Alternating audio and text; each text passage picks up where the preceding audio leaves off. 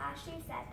I'm 10 years old and I'm in fifth grade and I go to Pond Hill Elementary School in Wallingford, Connecticut and my invention is called the fire bag. In this case, FIRE stands for First in Real Escapes. My invention solves a pretty simple problem. It solves the problem of comforting people.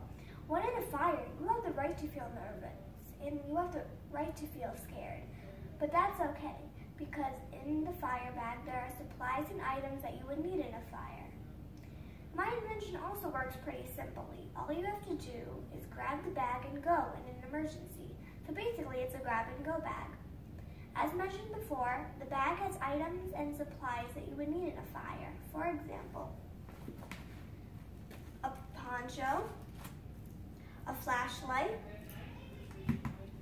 a phone, some money, first aid kit, a water bottle, fire safety tips, and a blanket. If you have multiple family members, then you can get the bag ready according to your needs. As you can see, my invention is the fire bag, and I know that one day when someone truly needs this bag, then they